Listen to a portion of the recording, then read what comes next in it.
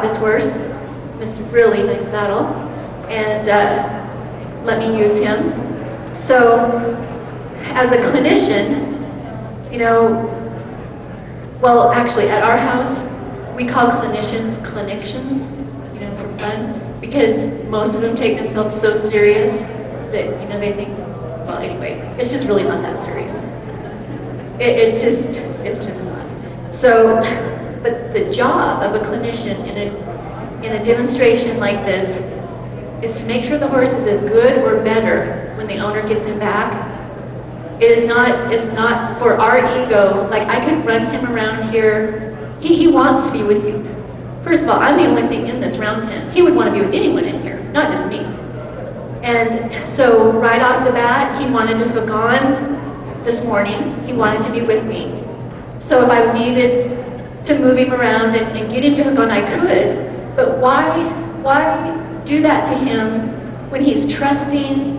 I mean, do what needs to be done. When you step into a round pen, evaluate, first of all, again, thinking about what your ultimate goal is with the horse.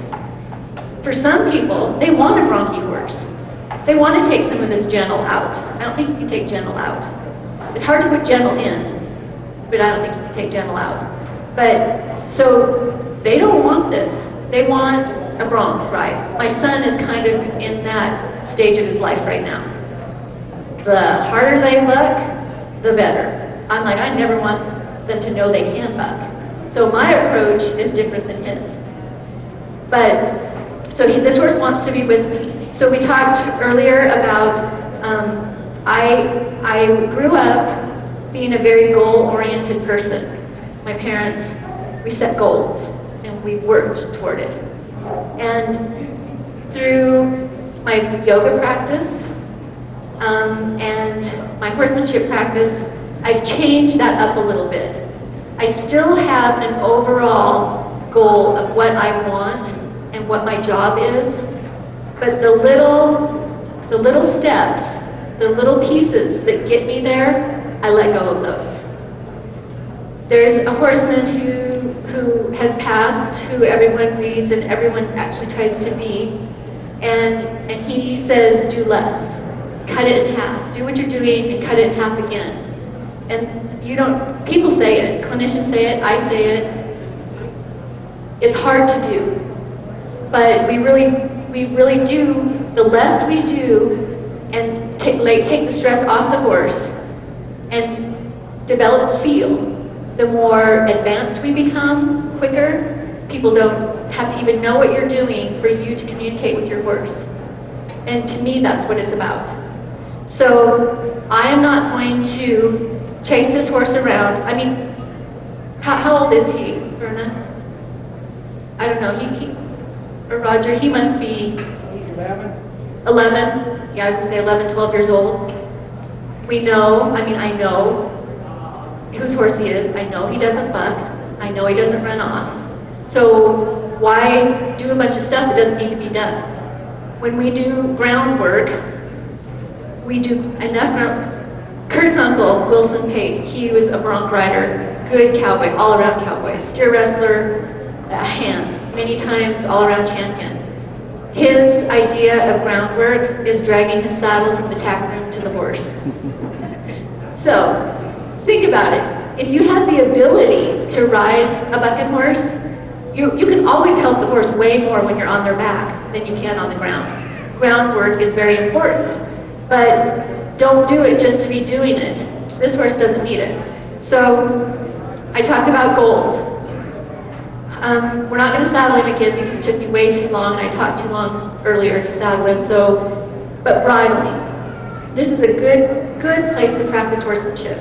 There's a saying, and everybody says it, the horse knows when you know and he knows when you don't know. But it's true. If this horse knows that if I put the bridle up to bridling and he takes his head away and puts it up here and I follow it and I start trying to shove the bit in his mouth, I, first of all, I'm causing a fight and he knows he can put his head up higher than I can reach. And he, he's going to win. And the other thing is, I just said that statement, horse, the horse I don't think has any thought process about winning or losing.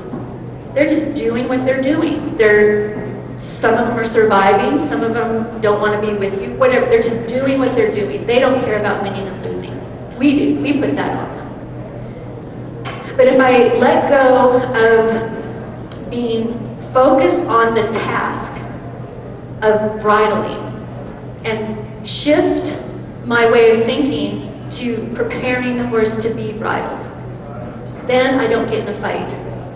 If, if my only goal, I can shove this bit in this horse's mouth. Well, I can back him up to the fence so he can't go any farther. I wouldn't care because this round pen, well actually, this Priefert round pen would not collapse on you. If you're gonna have a round pen, buy a Priefert because that is one of the safety features. If, if a critter runs into it, a lot of round pens that are, are round will fold in and they can just take this round pen and go and pretty soon you're in it. But the Priefert can't do that. So, and I'm not sponsored by Priefert, but they are the best. So, but we can do a lot of things to put the horse in a place where we can win. But it's not about that. So what do I know about this bit?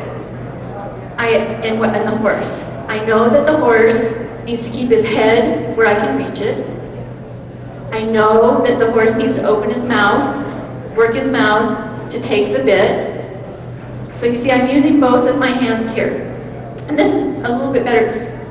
I talked about this earlier too. And, and again, um, older horses. I, I do clinics at a home, the guest ranch, the home ranch in Clark, Colorado, and where women come and they ride the guest horses. And they're not all of them aren't the softest things. And it can be a little frustrating, frustrating doing a horsemanship clinic or taking one because you want certain things. But these horses have a job, and it's to keep people safe. And they have um, how many weeks? From May, from the end of May to the second week in October, they have different riders on them some of them balancing on the reins. I mean, some of them good riders. So they learn to protect their mouth. They learn to be a little hard-mouthed.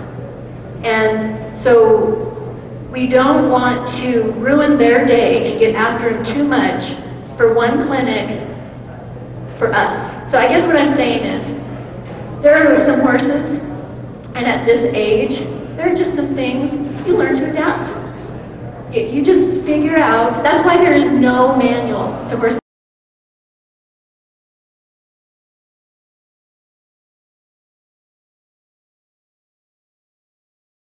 no horse and no person is the same.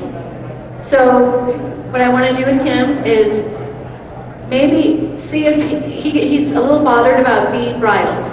So if the change I can help this horse with is maybe a little attitude. And, and that's what we work on at the home ranch a lot too, is getting their ears forward and changing his mind from being a little ill about putting the bridle on. So again, I know first I want to catch the horse's nose so I can keep it with me. I have him caught here. So if he goes to take his head away from me, I don't have to move my feet and follow him. I can bring him back and ask him from the poll, I can ask him to, um, and I actually like to keep my hand on the bridge of the horse's nose. I'm just going to ask him to drop his head a little bit. Now, to get a horse to drop his head, you can't push down on the horse's head. So you just put up a feel, little pat. Yep, that's right. A little, and when he gives a little bit, then I get still. I don't take the pressure completely off, or, or I take pressure off, but I don't take my hand off. So later we're going to be talking about a soft feel. And when we're riding, we want to get our horse bridled up and, and his head in a frame. We can get it going right here. This is a soft feel. When he gives and he wants to hold his head in this way and not take it away from me, he's gotten soft. This is a soft feel. So he's wanting to look. but I can bring his head back. So then with my right hand, I just drop the bit down and I come down and I, I'm to get my bit between my thumb. Oh, now he's ready to bridle. but then I'm not going to push the bridle with my left hand. I'm going to lift with my right hand. And now if he were to take his head away, I would not, I would not pull it over his ears until I bring his head back. And at home, we're very consistent. We do the same thing when we halter our horses. We're very consistent and we do the same thing and our horses halter and bridle themselves. They just know. They know when we put that feel up that they're going to be bridled.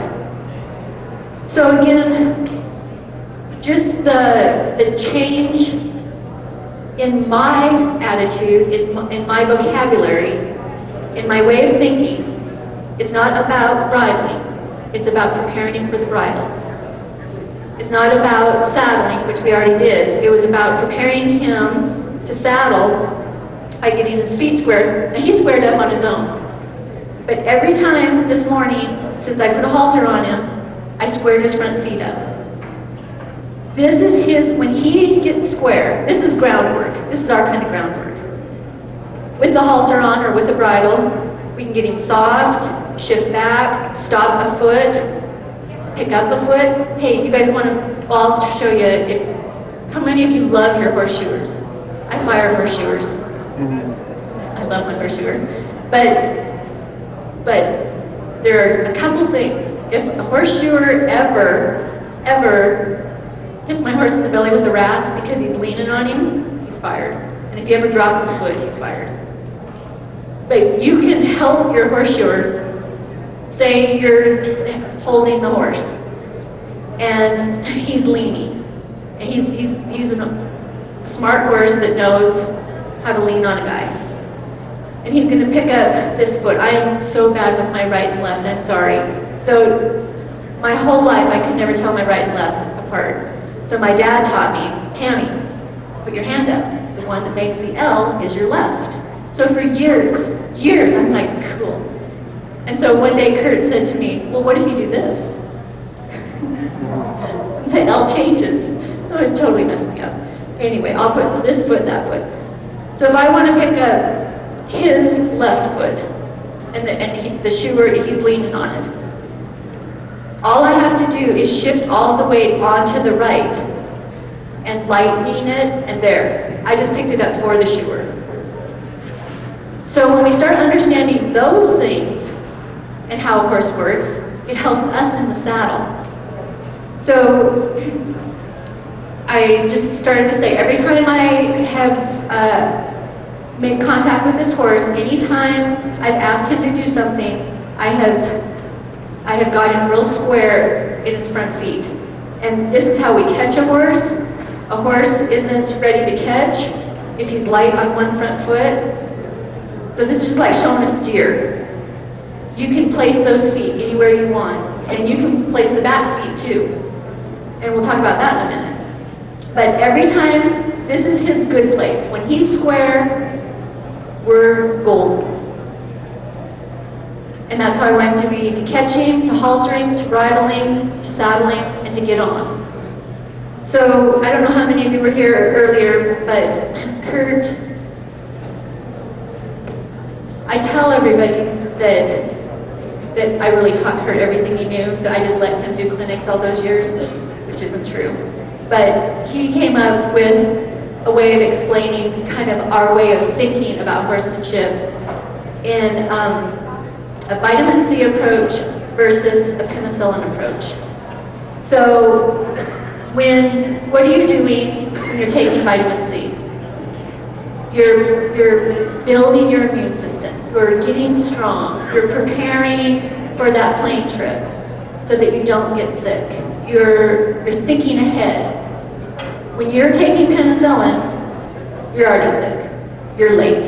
It's over. You haven't been getting enough sleep you've been not eating right, your immune system is down, it's late.